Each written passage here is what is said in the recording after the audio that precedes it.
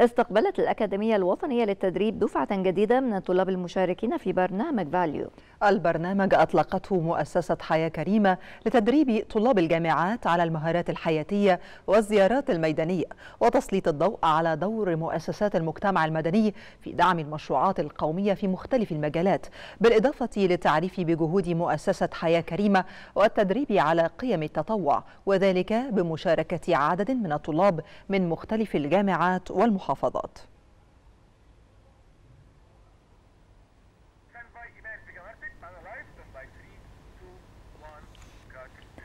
وللمتابعة ينضم إلينا مراسل التلفزيون المصري محمود جميل. محمود اطلعنا على تفاصيل هذا البرنامج برنامج فاليو الذي تستعد الأكاديمية الوطنية للتدريب لإستقبال دفعة جديدة مشاركين في هذا البرنامج.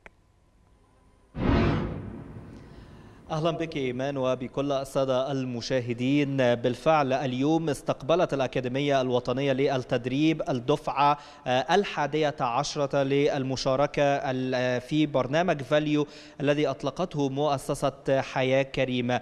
هذا البرنامج الذي أطلقته المؤسسة لتدريب طلاب الجامعات على عدد من المهارات الهامه سواء كانت المهارات الحياتية المتعلقة بكيفية التواصل مع المجتمع أو مع المواطنين وأيضا المهارات الخاصة بالتطوع والحديث عن قيمة التطوع وأيضا التعريف بجهود مؤسسة حياة كريمة وأيضا التعريف بالمشروعات القومية المختلفة التي تتم في مختلف المناطق والقرى الخاصة بحياة كريمة. هذه الدفعة اليوم يشارك فيها 400 طالب من 12 جامعة من مختلف المحافظات. هذه الدفعة أيضا تستمر على مدار خمسة أيام. أول ثلاثة أيام سيكون هناك عدد من التدريب الأكاديمي المكثف للتعرف أو التدريب على استخدام بعض مهارات الإنترنت والأجهزة الإلكترونية. التعليم أيضا أو التعريف بكيفية التواصل وأيضا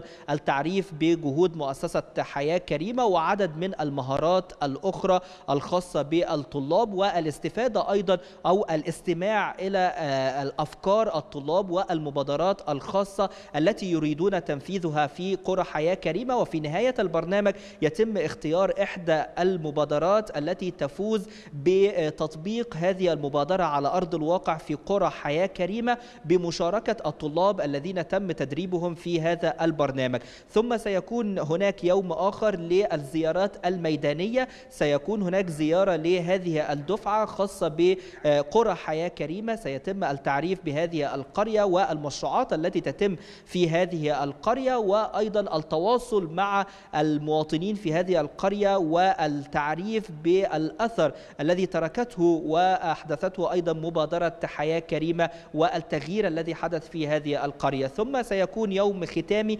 بزيارة أحد الأماكن العسكرية أو السياحية لأيضا الدفعة الموجودة.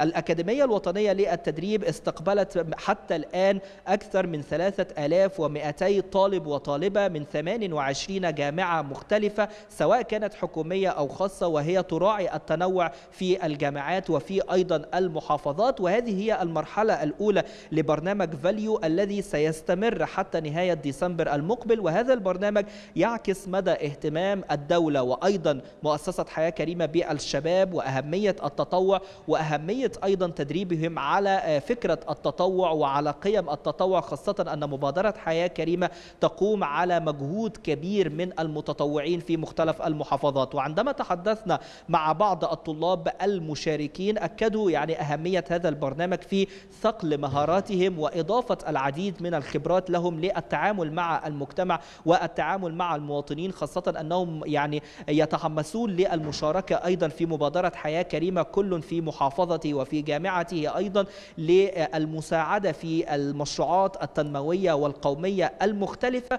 وأيضا أبدو يعني سعادتهم بوجودهم في هذا الكيان الكبير سواء في الأكاديمية الوطنية للتدريب أو حتى في مؤسسة حياة كريمة ويعني هناك العديد خلال الأيام القادمة العديد من المحاضرات وأيضا يعني ورش العمل التي ستكون موجودة بين الطلاب لثقل مهاراتهم وأيضا التعريف بأهمية التطوع نعم. ثم مشاركتهم فيما بعد في مشروعات حياة كريمة المختلفة نعم. وتستمر أيضا الأكاديمية لاستقبال العديد من الطلاب الجامعات خلال الفترة المقبلة. أشكرك. هذه هي الصورة الخاصة باستقبال الدفعة الحادية عشر في برنامج فاليو بالأكاديمية الوطنية للتدريب. بالتعاون وأيضا البرنامج الذي أطلقته مؤسسة حياة كريمة. عودة إليكم أشكرك محمود جميل جزيلا. كنت معنا من الأكاديمية الوطنية للتدريب.